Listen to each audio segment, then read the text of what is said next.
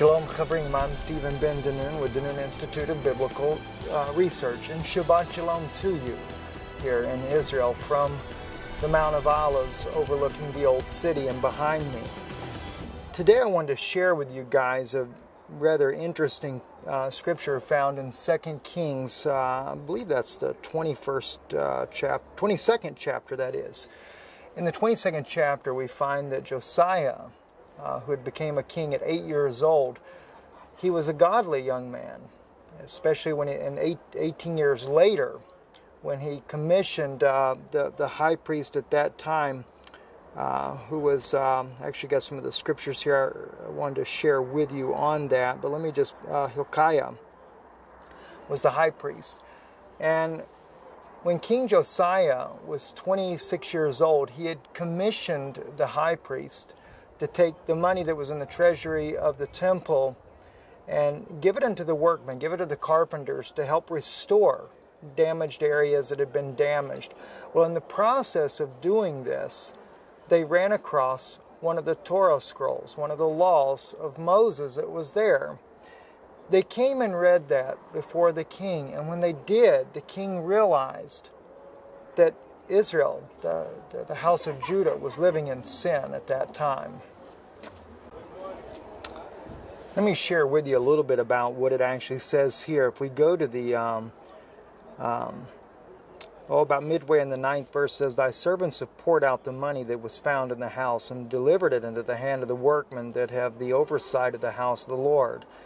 And Shaphan, the scribe, told the king, saying, Hilkiah the priest hath delivered me a book. And Shaphan read it before the king. And it came to pass, when the king had heard the words of the book of the law, that he rent his clothes and the king commanded Hilkiah the priest, and Ahikam, the son of Shaphan, and Achbor, the son of Micah, and Shaphan, the scribe, and Asaiah, the king's servant, saying, Go you inquire of the Lord for me, and for the people, for all Judah concerning the words of this book that is found. For great is the wrath of the Lord that is kindled against us, because our fathers have not hearkened to the words of this book, to do according unto all which is written concerning us.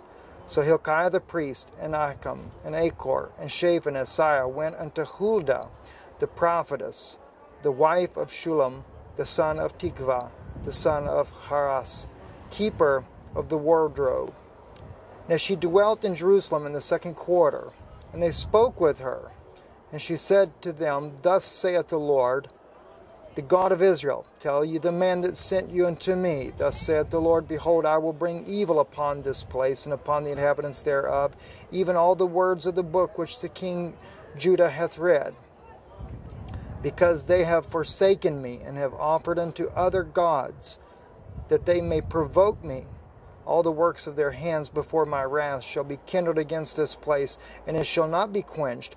But unto thee, King of Judah, who sent you to inquire of the Lord, thus uh, excuse me, thus shall you say to him, Thus saith the Lord, the God of Israel, as touching the words which thou hast heard, because thy heart was tender, and thou didst humble thyself before the Lord when thou heardest what I spoke against this place and against this inhabitants thereof, that they should become an astonishment and a curse and hast rent thy clothes and wept before me. I also have heard thee, saith the Lord. Therefore, behold, I will gather thee to thy fathers. Thou shalt be gathered to thy grave in peace.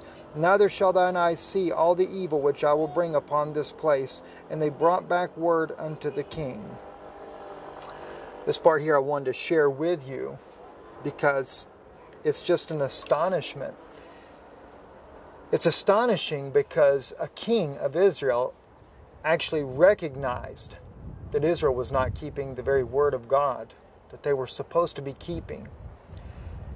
Notice also how that when the book is read in Huldah, which is a woman prophetess, the high priest goes to her along with the scribe, the king needing to have word back again, and Huldah was a woman prophetess and prophesied in Israel concerning the things that would come upon Israel, concerning the king and the kindness that God would show uh, unto him.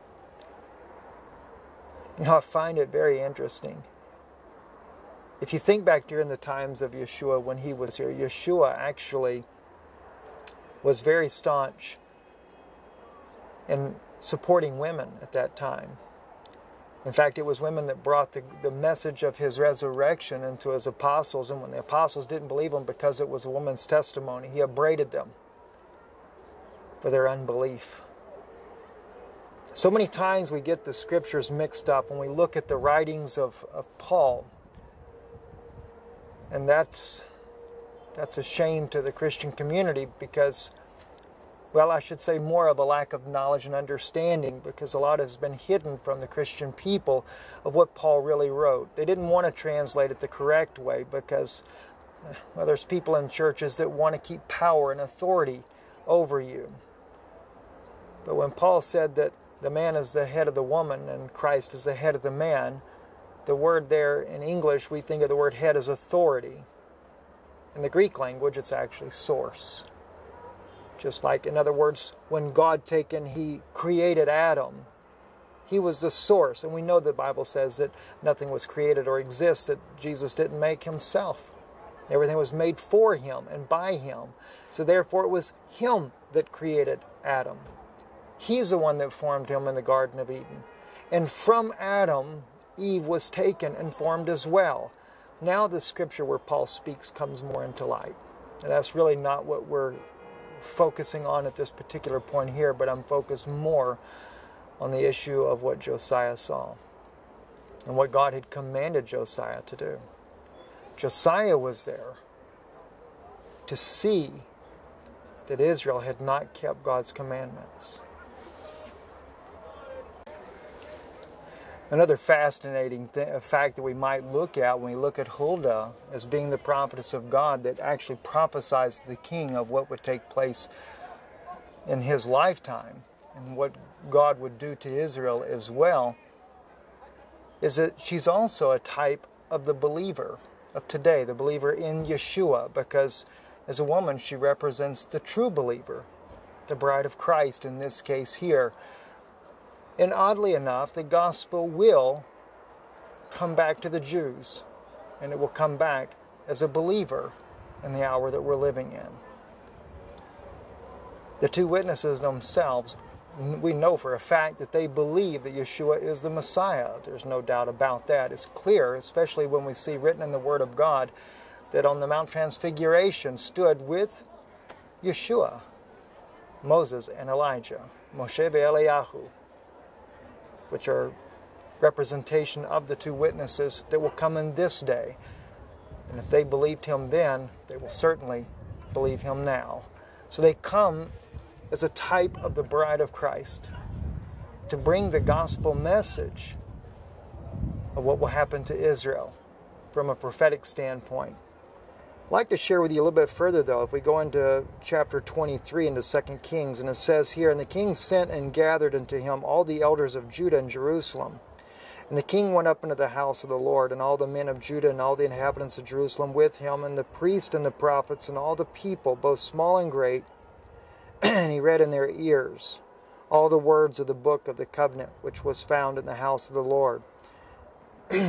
And the king stood on a platform and made a covenant before the Lord to walk after the Lord and to keep his commandments and his testimonies and his statutes with all his heart and all his soul to confirm the words of this covenant that were written in this book. And all the people stood uh, to the covenant.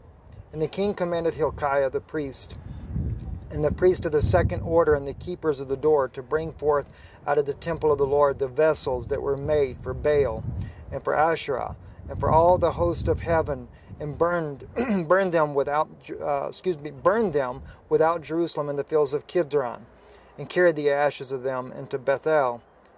And he put down the idolatrous priest whom the kings of Judah had ordained to offer in the high places in the cities of Judah in the places round about Jerusalem. Them also that offered unto Baal, to the sun, and to the moon, and to the constellations, to all the host of heaven, and brought out Asherah from the house of the Lord without Jerusalem and the brook of Kidron, and burned it at the brook of Kidron, and stamped it into small powder, and cast powder thereof upon the graves and the common people of the common people. And he broke down the houses of the Sodomites that were in the house of the Lord, where the women wove coverings for the uh, for Asherah And he brought all the priests out of the cities of Judah and, def- and defiled the high pla- excuse me, and defiled the high places where the priests had made offerings from Geba to Beersheba. Beersheba. And he broke down the high places of the gates that were at the entrance of the gate of Joshua, the governor of the city, which were of the man's left hand. And he entered the gate of the city. Nevertheless, the priests of the high places came not up to the altar of the Lord in Jerusalem, but they did eat unleavened bread among their brethren. And he defiled Topheth, which is the valley of the son of Hinnom, that no man might make his son or his daughter to pass through the fire to Molech. Now, we could go on and on and on and read about what Josiah did, and his the things that Josiah did are the most honorable things that any king could ever do for Israel.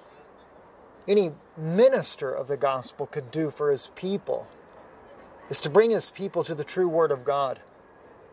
To make a dedication in your heart to serve God with all of your heart, with all your mind, and with all your soul. When I think about it, God brought Israel back here as a nation. Now, there's some that may argue that. If you, if you go back to um, uh, Rehoboam, who was the king of Israel, and we look at the things that happened with Rehoboam, Rehoboam seemingly uh, was rebelling against the advice of the elders of Israel when uh, he was the king of Judah, when he uh, should speak more kindly unto the house of Israel to the northern tribes there. But he actually says, he, of course, he's this, uh, one of the sons of Solomon. He says, No, I'll be more harsh. Takes the advice of the younger people. Now, that does seem to be very awkward, but we read in the Bible, though, that God actually anointed him to say these things because God was going to carry out his word, where he said the two, the nation would be divided.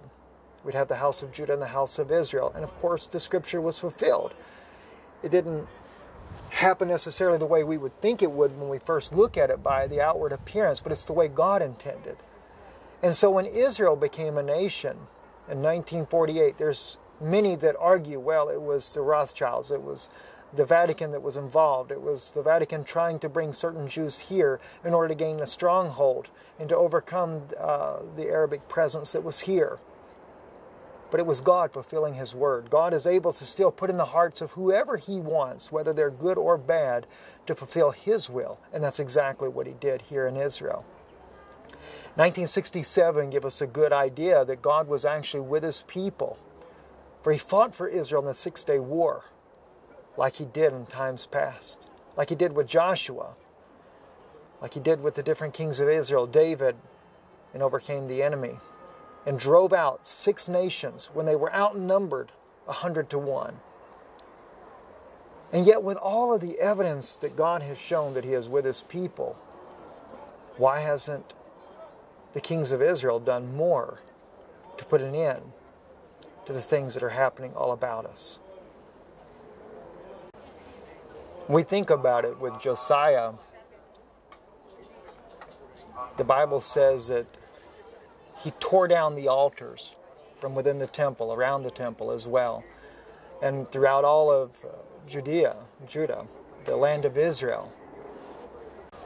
It's sad to say, though, that since the deliverance of Israel and the creation of the state of Israel, God did not do this according to some goodness that the Jewish people have done, but yet Rather, even according to the prophet Ezekiel in chapter 36, where God says to Israel, I do not do this for you, I do this for my name's sake. I will gather you from all the countries in which I have scattered you, and I will bring you back to your place.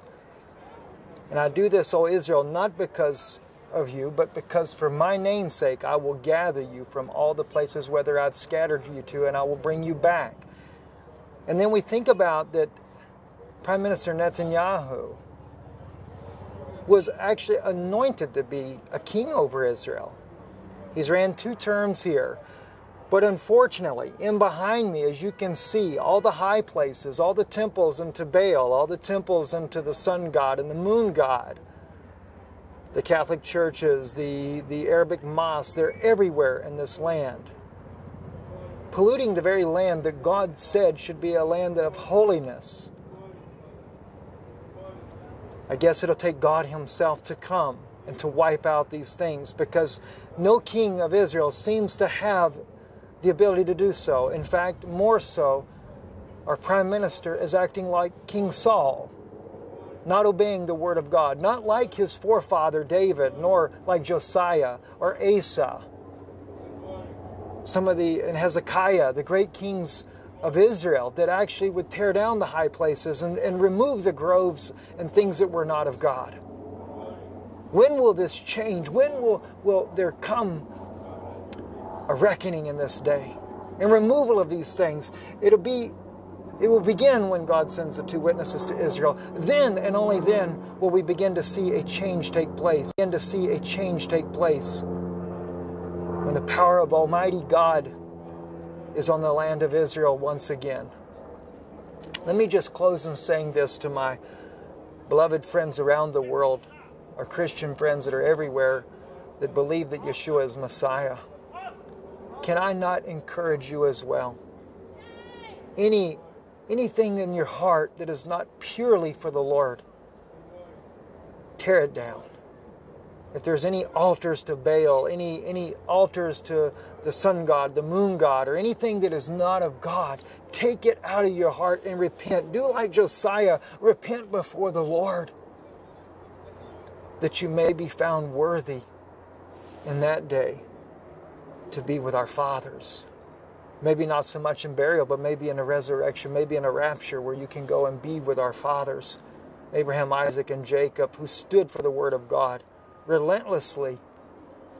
Let's be found with them. Let's be found in a way that is pleasing unto God. Because certainly the hour we live in here, the things that are happening, in this land here, it's because there are no kings here that are willing to make that stand. You know, the Bible says in the latter days Israel will seek their king, David, their king.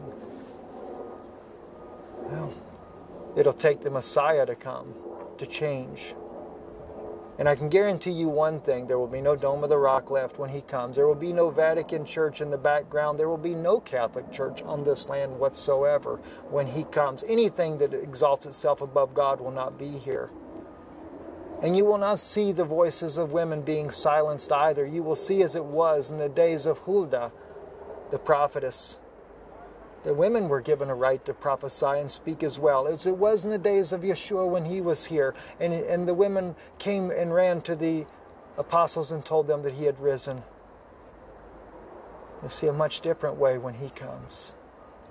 Not the way that we intended to be, but the way God intended it to be. Shabbat Shalom. God bless you. I trust today will be a blessing for you. Do remember us as well in your prayers. And as the Lord lays on your heart to support this ministry, we desperately need you. Without you, the work that we do in Israel is not possible. Bringing the messages that God lays on my heart to deliver to you. And my wife soon will be active again in the ministry. She has so much to share, so much that she can share with you guys that I know would be a blessing to you as well. So pray for us, and we thank you for being a part and to support this ministry. God bless you. I'm Stephen Ben with the Noon Institute of Biblical Research. Shalom.